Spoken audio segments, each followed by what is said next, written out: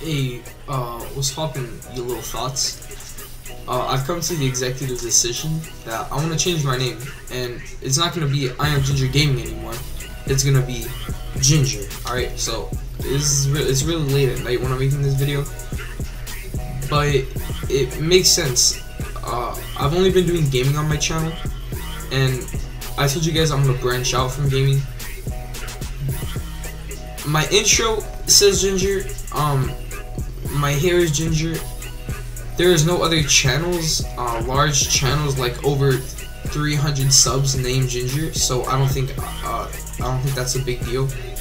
Uh, so yeah, I know it's only like a two minute video or whatever, but I decided I should make it just to let you guys know that I'm changing my YouTube name to Ginger. Um, and so yeah, thanks for the epicness. Okay, bye.